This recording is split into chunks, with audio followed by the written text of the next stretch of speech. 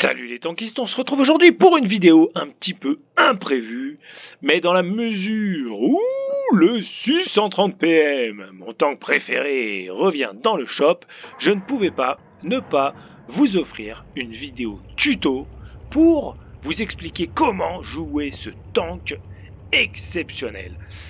Est-ce un tank OP Non. Par contre, il est exceptionnel dans son gameplay exclusif, absolument unique et particulier. On fait un focus sur ce tank et je vous décortique une ace. Je vous explique comment jouer ce tank pour performer. C'est parti alors, le SU-130 PM, SU-130 PM qui revient aujourd'hui dans le shop. Il y, a, trois bundles. Vous avez un bundle avec le SU-130 PM, l'ISU 130, les deux tout équipés avec un avatar, le camouflage légendaire du SU-130 PM et le camouflage rare de l'ISU 130. Vous avez un bundle avec le SU-130 PM Scarface, donc le SU-130 PM avec son camouflage légendaire, l'avatar et les équipements. Et enfin, vous avez le SU-130 PM tout nu. Et moi, c'est ce que j'ai envie de vous... Voilà, si aujourd'hui vous, vous désirez un bundle, c'est vers celui-là que je vous conseille d'aller vous avez dans moins de 3 semaines la foire de Blitz ainsi que l'événement Noël, il y aura forcément des réductions sur les camos légendaires. Donc vous pourrez toujours prendre celui du 630 PM s'il vous plaît. Il coûte 1450 gold, mais à 50% ça fait 725. Donc voilà, pour rappel, le, le SU-130 PM coûtait 12 500 gold tout nu la dernière fois qu'il est arrivé en boutique, c'était la première fois pour du gold, et 15 000 euh, dans cette configuration, donc avec l'avatar, le camo et les équipements. On va rapidement reprendre un petit peu les, caractéristiques, mais ce euh, c'est pas vraiment le focus de la vidéo. Vous avez sur la chaîne la revue du SU-130 PM, vous avez aussi une revue comparative avec le Scorpion G, donc n'hésitez pas aussi à les consulter dans la mesure où le, tank n'a pas du tout bougé, où le matchmaking n'a pas vraiment été changé depuis, c'est récent, la chaîne a moins de 6 mois, donc vous avez toutes les infos dessus. Rapidement, vous avez un gros canon avec 460 euh, d'alpha à la paix pour 245 mm de pénétration, le DPM pratiquement 2700, c'est pas mal. Le temps de visée est long, 5 secondes. Euh, la dispersion, alors je l'ai équipé, donc elle est pas mauvaise. Néanmoins, vous avez un, un canon russe, donc des canons russes sont toujours, il y a cette légende du canon biaisé de Staline, et vous allez pouvoir euh, voir parfois des tirs qui vont passer à des kilomètres au-dessus de votre cible, alors que vous avez vous aviez vraiment été au bout de la visée, et puis parfois vous allez viser à côté, et ça va taper exactement là où ça doit taper dans la cible. Donc voilà, il y a un petit aléa tout de même qu'il faut prendre en compte que vous, ne rencontrerez pas avec un canon allemand, notamment je pense à celui du Scorpion G. En termes d'explosifs, vous avez 65 mm de pénétration à l'explos, donc c'est très bon, et les hits percent à 318 mm pour donc respectivement 600 dommages à l'explosif et 390 au hit. En termes de limite de pivot, c'est assez limité, néanmoins ça fait le taf. Vous avez 16 degrés vers le haut et surtout 7 vers le bas, donc vous avez une légère gun dépression, un, un qui, est pas mal, qui est pas mal, et vous allez le voir dans le replay que je vous propose, il va falloir jouer avec cette dépression. Concernant le tank en lui-même, vous n'avez absolument aucune armure, vous pouvez le voir, 30 mm sur le devant, 25 sur les flancs, 20 à l'arrière, et vous avez une excellente dissimulation en termes de mobilité, ça fait vraiment le travail. 50 km/h en avant, 20 en arrière, une vitesse moyenne de 37 et surtout un rapport poids-puissance de 22.9. Donc c'est du très très bon. Véritablement un tank presque un tank léger, un, gros canon de Teddy sur un tank léger. Vous avez une caisse très basse, donc vous êtes près du sol, donc vous avez un excellent camouflage. Après, euh, voilà, vous êtes un aimant HE, donc euh, voilà, euh, utilisez la dépression du canon sur les, les hauts des collines. Pourquoi? Parce que vous allez incliner la caisse, donc elle va être sur le dessus encore plus plane, et parfois vous allez avoir des bounces chanceux, toujours surprenants, mais ça fait toujours du bien. Vous êtes un aimant HE, et dernier point, la tourelle tourne pivote à 70 degrés sur la droite et 70 sur la gauche, elle ne fait donc pas le tour. Donc il faut toujours conserver à l'esprit de rester en face de la zone dangereuse et ne jamais lui tourner le dos, sinon vous êtes mort.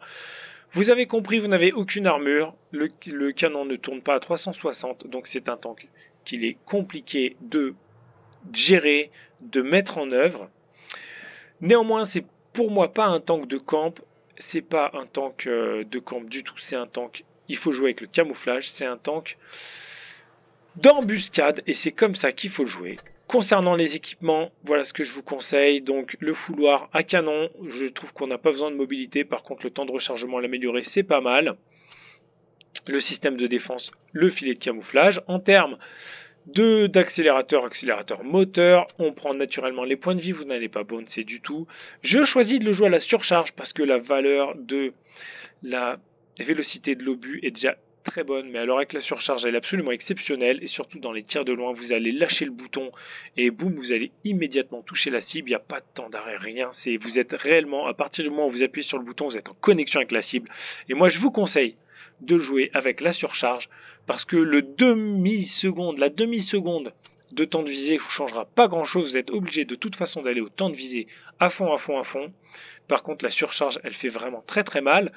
Et je joue avec le camion amélioré pour améliorer sa dispersion. Encore une fois, vous n'allez pas faire de tir en mouvement. Vous allez vraiment aller au bout de votre visée, prendre le temps. Donc voilà, on choisit la boîte à outils ainsi que le système de livraison des consommables. En termes de munitions, en termes de munitions, en termes de munitions, euh, oui, non, livraison des consommables. Juste une chose, pourquoi ne pas choisir des consommables qui durent plus longtemps Parce que vous avez un long temps de reload et parce que l'accélérateur va vous permettre d'accélérer et pas d'augmenter votre vitesse maximale? Donc une fois que vous allez l'atteindre, plus rapidement en utilisant le boost de l'accélérateur, vous allez rester à la vitesse maximale. Donc c'est pour ça que je préfère l'avoir plusieurs fois en partie plutôt que de savoir que le boost va me durer 19 secondes au lieu de 15. Je préfère pouvoir le rejouer et relocaliser. Ça, c'est un élément important. En termes de load, on a 17 AP, 6 hits 7 HE. Voilà les provisions, les amis, la ration, les carburants améliorés et encore une fois la ration pour améliorer la portée de la vue, le DPM, le temps de rechargement et tout ça. Les consommables classiques. Kit universel, adrénaline et accélérateur. On saute à pieds joints dans le replay. Et on se retrouve sur Yukon en platoon avec Goto Gulag du clan WLV, le clan Wolverine. Hi Abyss, hi Goto Gulag, hi Braindog, hi all Wolverines. I hope you're all well, mates. Le clan Wolverine, des super joueurs. Abyss a une chaîne YouTube, vous tapez A-B-Y-S-S sur YouTube Blitz et vous allez voir, c'est un YouTuber avec une chaîne euh, anglaise, si je ne m'abuse. Je sais plus s'il fait des replays, s'il fait des replays commentés. Donc, mais c'est un excellent joueur, excellent, excellent. Donc voilà. On est sur Yukon, sur 130 PM, et là vous pouvez voir qu'on coup de matchmaking, on a trois lourds, ils ont trois lourds, deux moyens dans notre équipe, ils en ont un, ils ont deux Teddy, on a deux Teddy, par contre ils ont remplacé un moyen par un léger, on va tout de suite au spot, et on utilise ce buisson, on est à couvert, on va toujours chercher à se déplacer en utilisant des positions qui nous donnent des solutions pour se remettre à couvert. Et là, oulala, il y a du monde en face. Petit lag, le Panther 2 a spoté. On avance, on n'a pas été spoté, donc il faut vraiment jouer avec la patience dans ce tank. Là, on est spoté, c'est sûr, il nous voit, donc il va falloir prendre le temps de viser. Vous voyez qu'on va au bout de la visée, on bouge doucement, on prend le temps et la 446 dans la T15. On enclenche l'adrénaline, je sais qu'il y a du monde autour. Néanmoins, là, c'est... Et attention, le T-49 se présente, il vient pas vers nous. Il n'a pas le gros canon. Néanmoins, il faut quand même le focus, éventuellement le sortir. Non, il va s'échapper. Et donc, on a une opportunité sur le Tigre 2. On prend le temps de viser. Go to Gulag lui en met une, on lui en met une. Et ça fait un 715 à nous deux. Je vais rester en support. Vous voyez que la position que j'utilise là me permet de me remettre à couvert si je suis spoté. J'ai le filet camouflage donc je suis pas spoté. J'attends. Après avoir tiré, je prends le temps pour bouger parce que ça me permet. Le fait d'attendre me permet de voir si j'ai été spoté ou non. Donc cette patience est très importante dans ce tank. J'ai pas été spoté, je vois le Su-152, je l'ai vu, il a le canon de 122, donc voilà, on a le temps.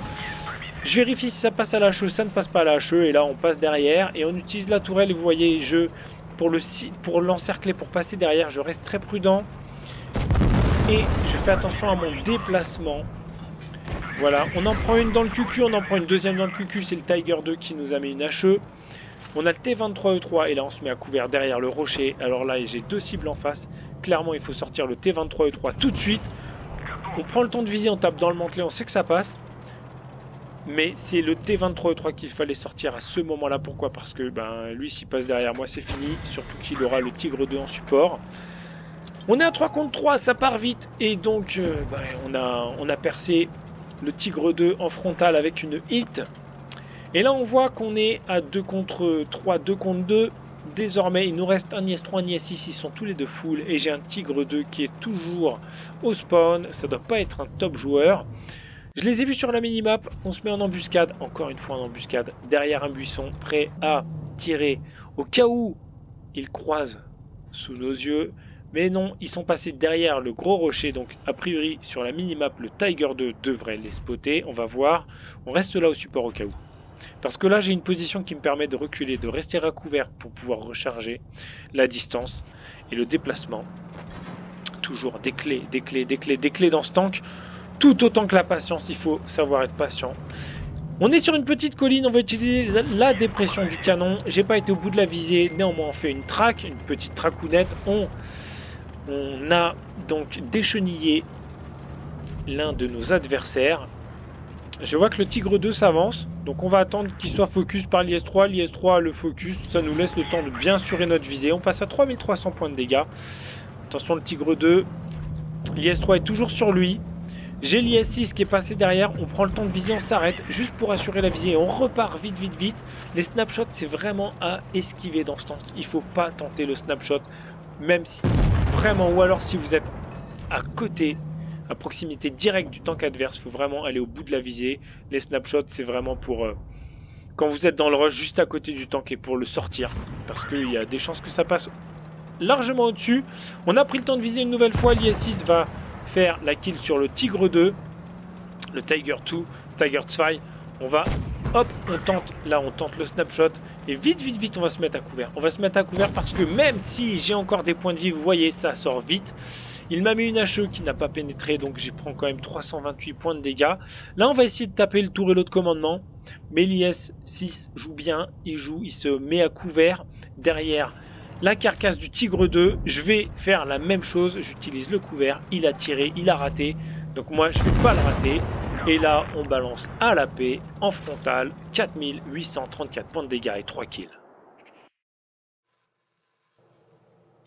et master, et master, et joli master, parce que eh ben, cette game, il a fallu aller la chercher.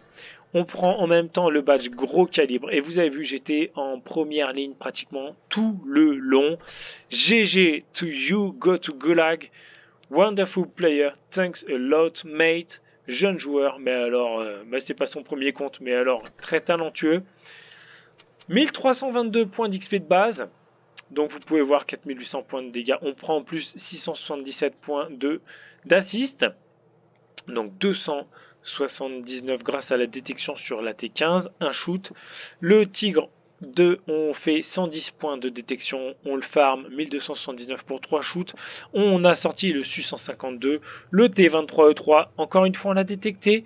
L'IS-3, on l'a sorti 3 shoots, 908 points de dégâts. Et l'IS-6, on l'a farmé 1051 pour 3.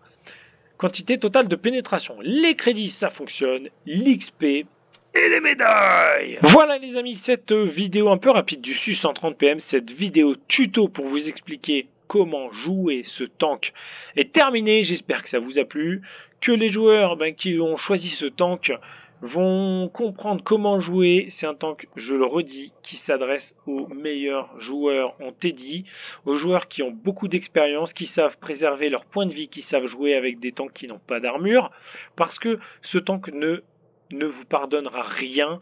Euh, vous êtes littéralement, euh, si ce n'est one shot, parce qu'un ISU 152 qui vous met une HE en max roll, il vous sort en un coup. Un VT of Panzerfire, c'est pareil. Un, un, RHM, c'est pareil. Vous êtes littéralement one-shotable. Vous êtes souvent, vous allez vous faire sortir au bout de deux, shoots. Dès que vous allez être spoté, vous allez être focus. Donc c'est vraiment un tank. Si vous êtes un jeune joueur, passez, prenez le temps, amusez-vous sur d'autres tanks. Et quand vous aurez l'expérience, quand vous serez bon en RHM, quand vous serez bon dans les tanks légers, alors si vous voulez faire l'expérience du derb gun, du gros canon sur un châssis léger, ce tank sera là pour vous à ce moment-là dans six mois, dans un an, il coûtera pas le même prix en gold, il sera vraiment plus abordable. Donc je le redis, je le conseille aux très très bons joueurs qui ont envie d'un tank challenging. C'est un vrai challenge. Donc voilà. J'espère que cette vidéo vous a plu. J'ai pris beaucoup beaucoup de plaisir à la faire. Elle n'était pas programmée, mais bon comme ça, bon bah, écoutez, ça se fait. C'est bientôt Noël. Conservez vos golds pour la foire de Blitz de toute façon. Et puis, eh bien écoutez, euh, partagez vos commentaires dans la vidéo. Je les lis toujours avec grand plaisir. Dites-moi ce que vous avez pensé de la vidéo. N'oubliez pas de vous abonner. Il y a beaucoup de choses qui vont arriver sur la fin de l'année. Je vous souhaite à tous une excellente journée. Merci de m'avoir suivi. Rejoignez-nous sur Discord. Et bien entendu, comme toujours, la suite au prochain numéro